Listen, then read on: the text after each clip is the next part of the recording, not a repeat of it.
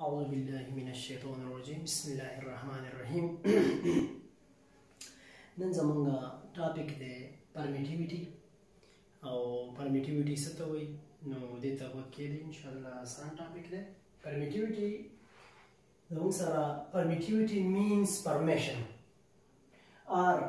to resist the electric field line پرمیټیوټی یو مین دی مطلب دی پرمیشن اجازت ورکول اجازت ورکول ته اجازت دی او یا ریزیست کول ریزیست مطلب دا دی افوس کول چې الکتریک فیلډ لاین دا میډیم افوس کی الکتریک فیلډ چې کوم دی دا د میډیم د الکتریک فیلډ لاین اف فورس کی پاس کېدو ته نه پریدي نو دې ته مونږ پرمیټیویټي وایو لکه فار ایگزامپل لګ دا ایگزامپل دې ته بیا وایم خو دې خو لګ وګورئ پرمیټیویټي اف د میډیم مین دیټ هاو مینی الکتریک فیلډ لاین آر فاست تھرو د میډیم د میډیم نه څومره الکتریک فیلډ لاین پاس شو ټیک شو او یا د میډیم پرمیټ د الکتریک او میګنیټیک فیلډ لاین پاس تر دیم او یا پرمیشن ورکړي میډیم الکتریک یا میګنیټیک فیلډ لاین ته چې زمانه د دومره پاس شه دوره باندې پاس کیږي الکتریک فیلډ لاین دا میډیم کې دا پراپرټي دا چې دا الکتریک فیلډ لاین چې کوم دی دا پر پرمیشن ولا ورکي چې پاس شه یا ریزیست کوي د ریزسټ کولو هم پرمیشن دی یو قسم لا چیرې پرمیشن په دوه قسمه دلته موږ یې ویل شو چې الکتریک فیلډ لاین دا د پیل د میټیریل میډیم وي یا د میډیم وي چې الکتریک فیلډ لاین دی دومره پاس شي یا د میډیم وي چې الکتریک فیلډ لاین دی دومره نه پاس کیږي نو په دواړو سچویشن کې پرمیشن دی په ځینې کې موږ دا پرمیشن وایو چې الکتریک فیلډ لاین پاس کېدلو پرمیشن وته کوي په یو نیم ټایم کې موږ دا وایو چې د الکتریک فیلډ لاین د ریزیسټ کولو پرمیشن کوي پرمیشن وته دا کې چې دونه الکتریک فیلډ لاین به نه پاس کېږي دونه به پاس کېږي لکه فار ایگزامپل دا زموږ سره پرمیټیویټي په دوه قسمه ده یو پرمیټیویټي اف د پری سپیس ده یو پرمیټیویټي اف د میټیریل میډیم ده پرمیټیویټي اف د پری سپیس چې کوم ده دا موږ سره اپسلان ناټ ته موږ وایو او دا پرمیټیویټي اف د پری سپیس دا مطلب دی چې زموږ سره دوه پیرل فلیټ دي او په دې کې زموږ سره انسایډ ایر دی یو ویکیوم دی او په دې کې الکتریک فیلډ لاین زمان سره د الکتریک فیلډ لاین د دې نه پاس کیږي د دې ایر یا ویکیوم نه نو دا ایر یا ویکیوم چې کوم دی دا دوی ته پرمیشن ورکوي د الکتریک فیلډ لاین ته چې زمانه الکتریک فیلډ لاین پاس شي دومره دې پاس شي یا الکتریک فیلډ لاین چې کوم دی دا ایر یا ویکیوم چې کوم دی نو دا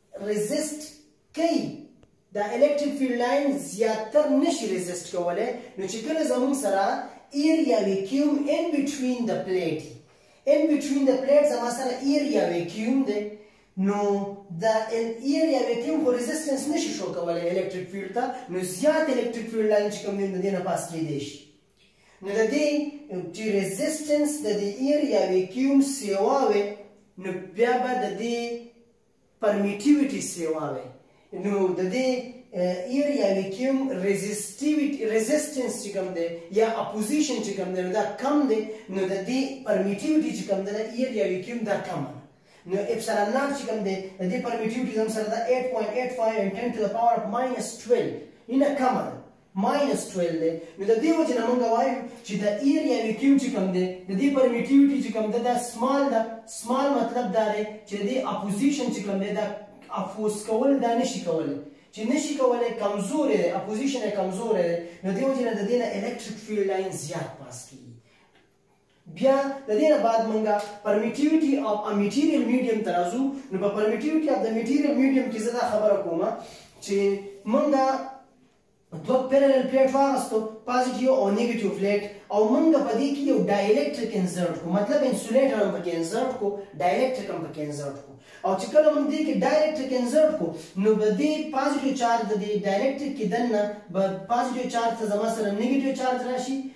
او نيګټيو چارج ته به فازيټيو چارج زما سره اخوا لاړ شي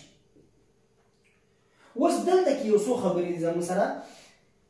زموږ سره ایکسټرنل الکتریک فیلډ چې کوم د دې پلیټ الکتریک فیلډ دی الکتریک فیلډ ایکسټرنل الکتریک فیلډ زموږ سره دا ایکسټرنل الکتریک فیلډ زه دې ته وایم او انساید په دې ډایلکټریک کې د پازیټیو نه نیګیټیو طرف ته انټرنل الکتریک فیلډ دی اوس چې کله موږ ډایلکټریک انزرټ کو په یو دوه فلیټ په منځ کې نو په دې کې چې کوم پول جوړ شو پازیټیو او نیګیټیو پولز جوړ شو نو دا پولز ایگزیکټلی د دې پلیټ د دې چارجز په شان کې نه مطلب دا چې انساید چې کوم الکتریک فیلډ پیدا شو نو دا انساید الکتریک فیلډ چې کوم دی دا به د اوټساید ایکسټرنل الکتریک فیلډ چې کوم دی د دې نه به دا زم سره صحیح دا به د دې نه کم وي. انټرنل الکتریک فیلډ به کم وي، اکسټرنل الکتریک فیلډ به سیوا وي. نو چې کله موږ د دې نېټ الکتریک فیلډ معلوم کړو، نو سټیل زموږ سره د دې نېټ الکتریک فیلډ چې کوم دی، دا زما سره زیرو نه وي. بیا هم په دې کې زما سره نېټ الکتریک فیلډ لاین موجود وي. لکه فار اګزامپل موږ د دې د دې پلیټ نه الکتریک فیلډ لاین چې کوم دی، دا زما سره دې میټیریل ته انټر شو. چې انټر شو لیټ سپوز دلته کې زما سره انټر سټارټینګ اوریجینیټ شو 100 الکتریک فیلډ لاین او دلته کې دته اپوزیټ بل الکتریک فیلډ لاین جوړ شوی دی او د اپوزیټ الکتریک فیلډ لاین د دې 100 الکتریک فیلډ لاین څه افیکټ ختم کو ختم یې ځکه کو چې دا انټرنل الکتریک فیلډ لاین چې کوم دی دا د ایکسټرنل د اپوزیټ دی او دا انټرنل کې کم دي لیټ سپوز دا زما سره دا څلور لاین الکتریک فیلډ ایکسټرنل الکتریک فیلډ لاین دي او دوه انټرنل دي نو دا دوه الکتریک فیلډ لاین چې کوم دي دا به د ایکسټرنل دوه الکتریک فیلډ لاین کینسل اوټ کی او دوه الکتریک فیلډ لاین به د دې زما سره پاس شي نو په دې کې زما سره ټو الکتریک فیلډ لاین سټیل زما سره د دې انټرنل ریجن نه پاس شو او اخوا طرف ته لاړ نو د دې خبرې مطلب زما دا دی چې نت الکتریک فیلډ چې کوم دی نېټ الکتریک فیلډ لاین دا په ډایلکټریک په انزرټ کولو کې زیرو نه وي نت الکتریک فیلډ لاین زموږ سره زیرو نه وي زموږ سره نو زموږ سره چې نت الکتریک فیلډ لاین زیرو نه وي نو کې زموږ سره برابر دی د اپلایډ الکتریک فیلډ لاین ډیوایډ بای انټرنل الکتریک یا نت الکتریک فیلډ لاین اپلایډ الکتریک فیلډ ډیوایډ بای نت الکتریک فیلډ او اوس نت الکتریک فیلډ زموږ سره زیرو نه دی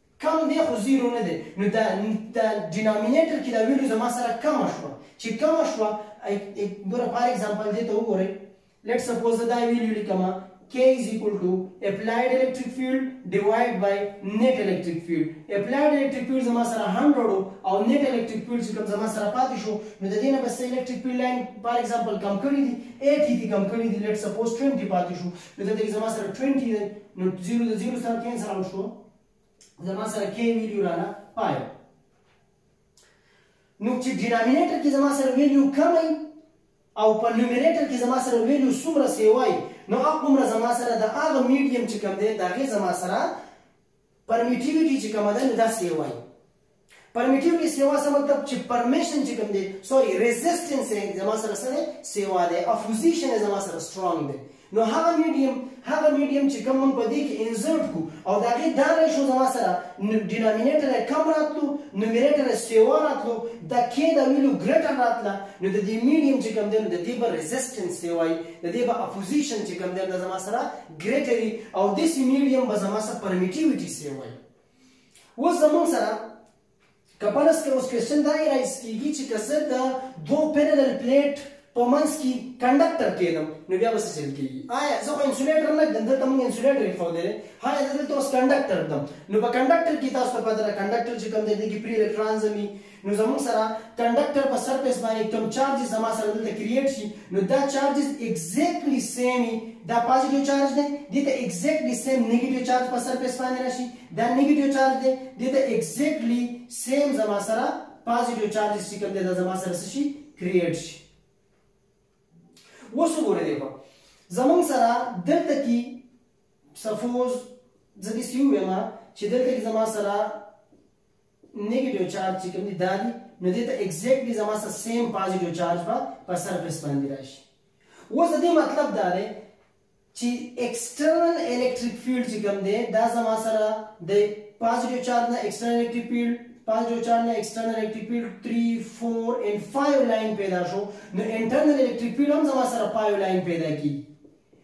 نو ايکسټرنل الکتريک فيلډ ويل بي ايکول ټو د انټرنل الکتريک فيلډ شو نو چې ایکسټرنل الکتریک فیلډ د انټرنل الکتریک فیلډ برابر دی نو نت الکتریک فیلډ چې کوم دی زما سره په دې میډیم کې زیرو دی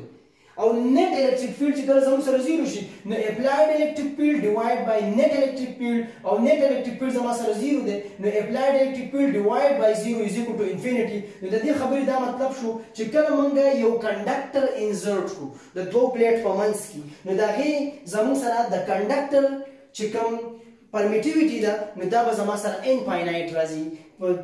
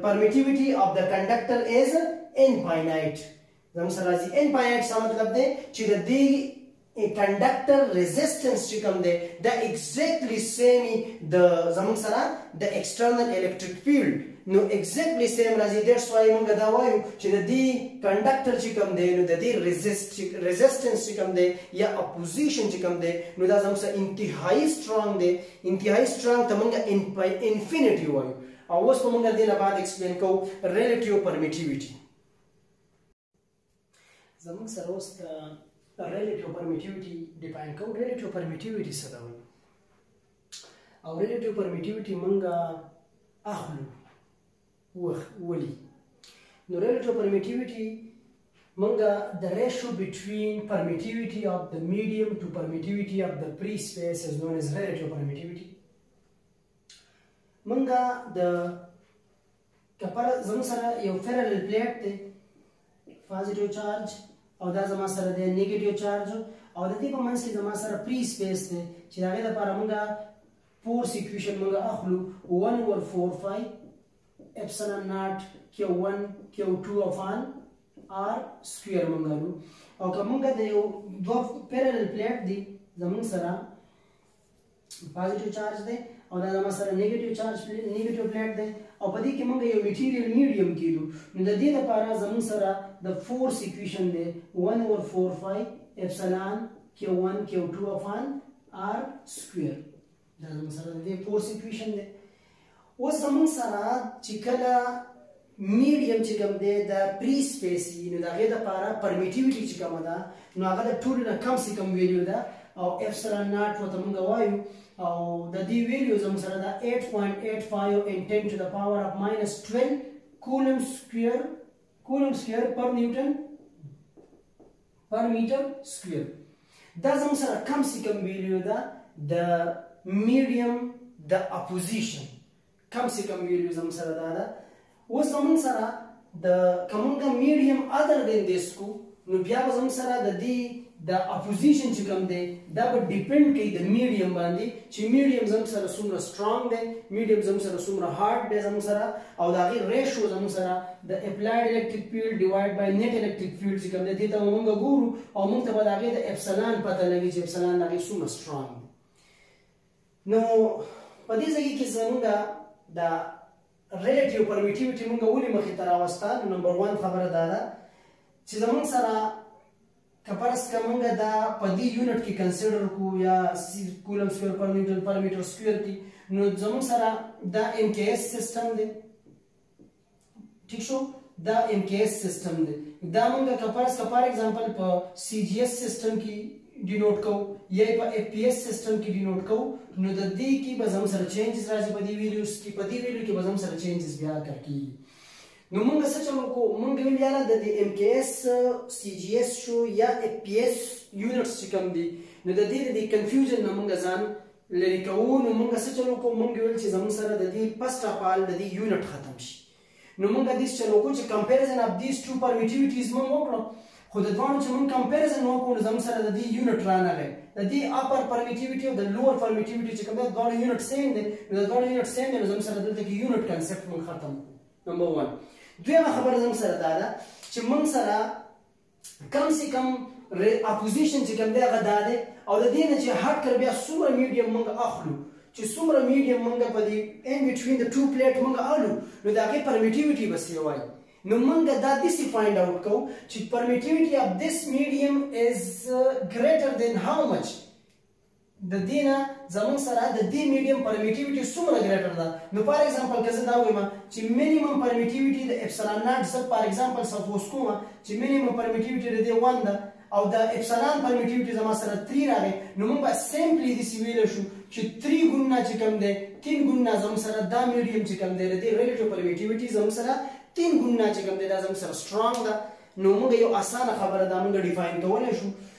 نو د دې وجې نه مونږ دا ریلیټیو پرمیټیویټي مونږ واغسته چې مونږ د دې سره د دې هارډ میډیم یا اني میټیریل میډیم چې کوم دی د هغې کمپیریزن مونږ وکړو او مونږ ته یو اسانه ویډیو یو ایکزیکټ ویډیو مونږ ته راشي نو دې ته مونږ وایو ریلیټیو پرمیټیویټي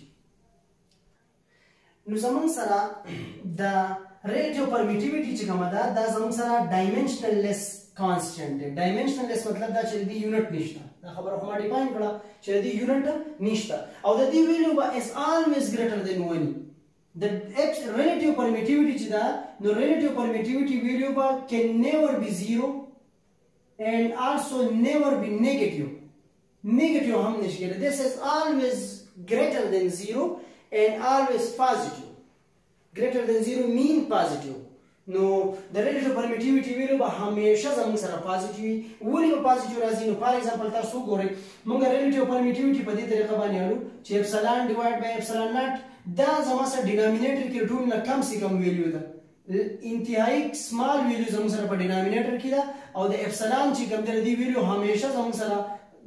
ډیفرنٹ میډیم د لپاره ډیفرنٹ راځي خو مطلب د دینه به ګریټر نو چې موږ ګریټر ویلیو ډیوایډ بای اسمال ویلیو موږ وکړو نو د دینه به بیا موږ سره ګریټر ویلیو راځي مطلب د زیرو برابر یا د زیرو نه کم ویلیو به چرته موږ سره رانشي